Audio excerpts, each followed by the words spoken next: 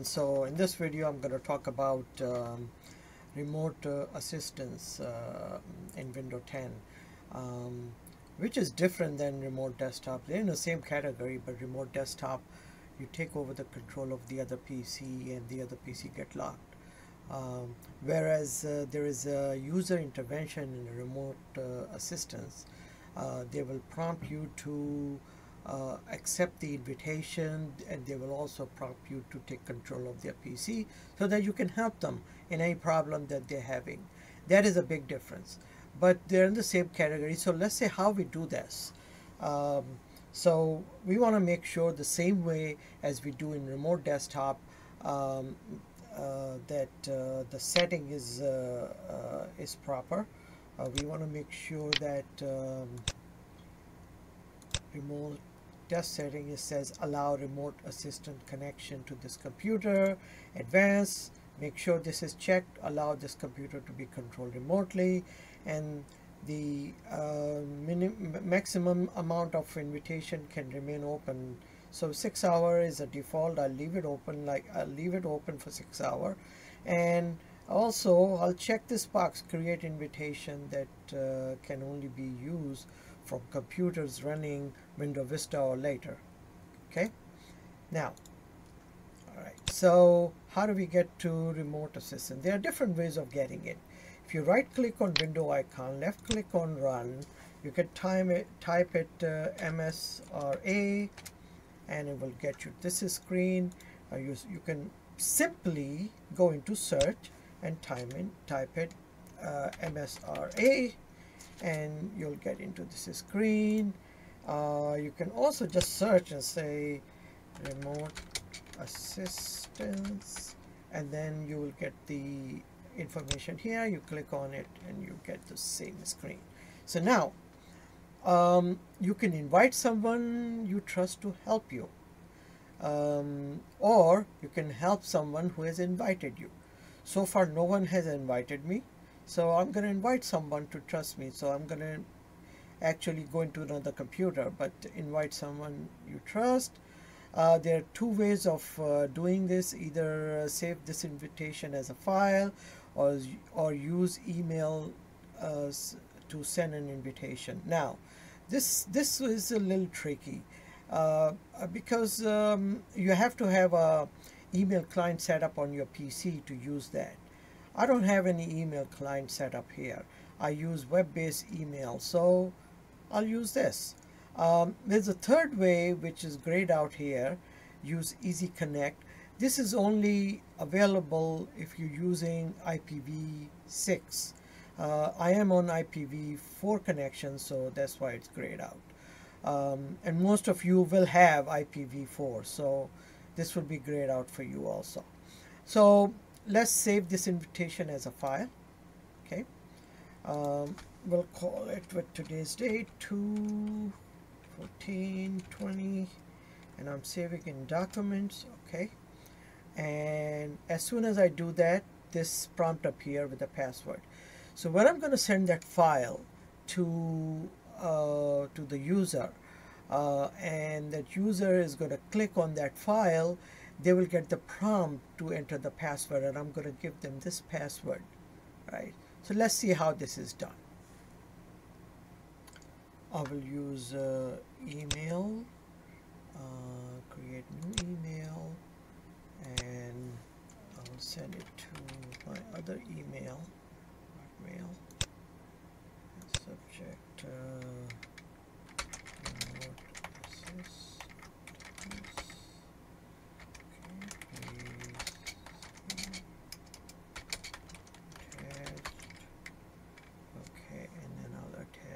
file here it's in the document right here.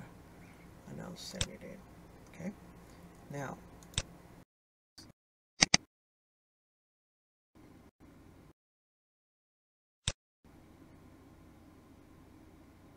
Okay.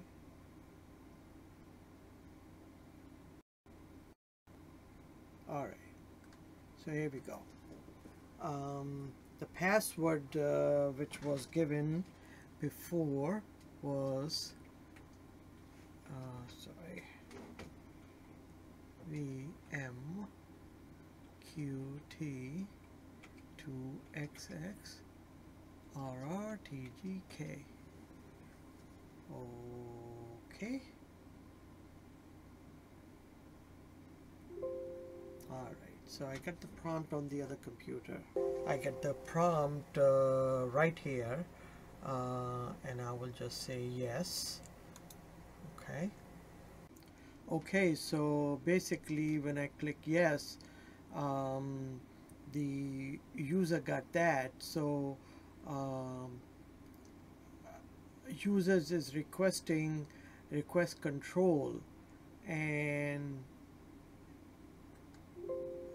okay okay so basically when uh, uh,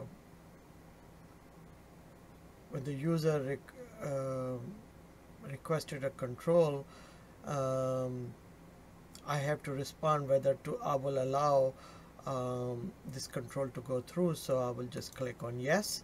And now the uh, the other user will have a total uh, control of my PC and I can watch him exactly what he will be doing.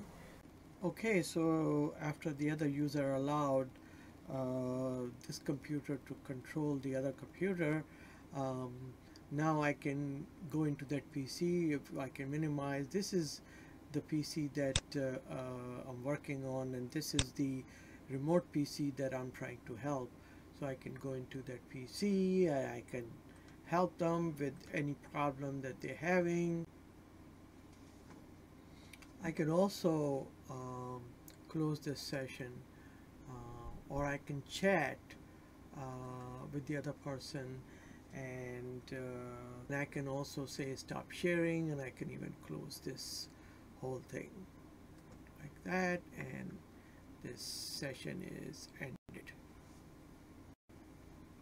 Another thing to keep in mind that uh, when um, you are uh, connected over the internet and you have a router firewall and window firewall how do you do your uh, remote assistance it get a little complicated so let's take a look. Uh, basically what you would have to do you would have to go into the group policy.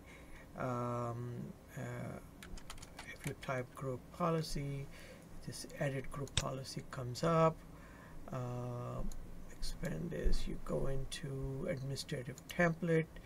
You go into system. And from here you go to remote assistance on the right side you have I already enabled these three things.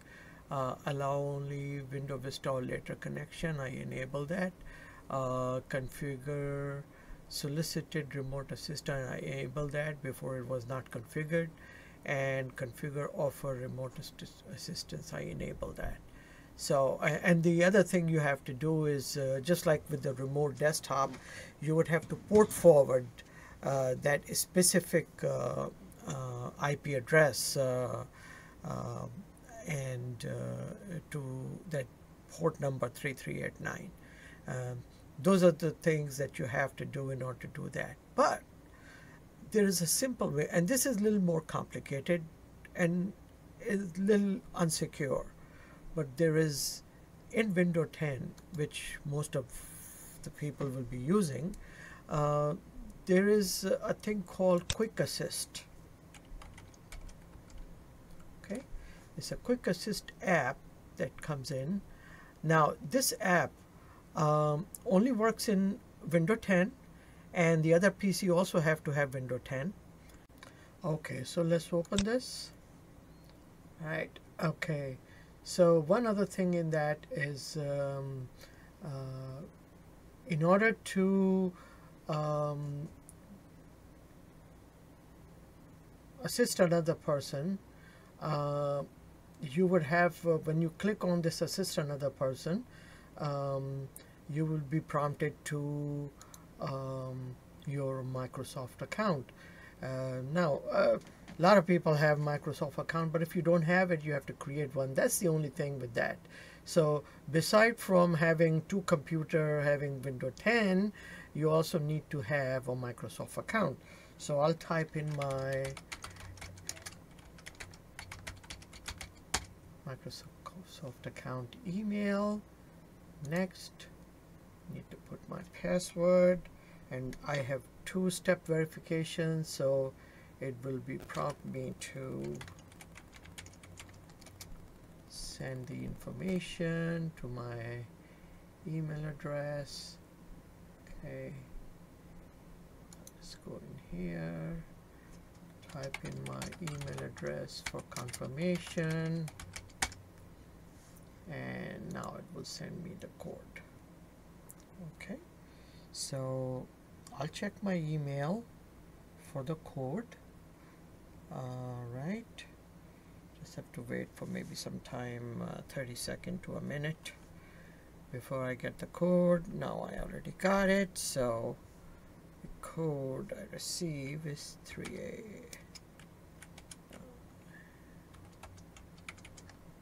all right verify okay.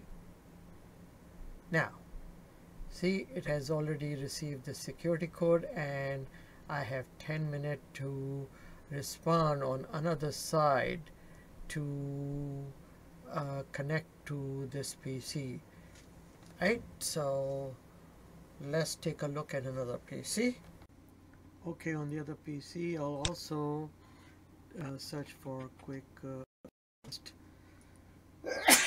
excuse me. And uh, once I do that um, this is what I get and then the code I have already from the other computer. Eight six seven eight zero. And now I'll do the share screen.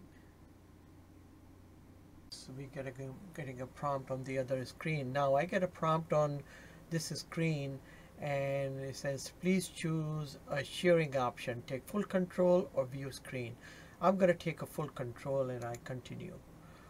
Once I do that on the other computer it will say allow let uh, KillQ view your screen during the session. So I will allow it on the other computer. Once I do that on the first computer I will be able to control that PC and you can notice that the other PC um, the screen is being shared. So uh, you can maximize this right here. Uh, I can go into that PC and help that person with any problem. Right?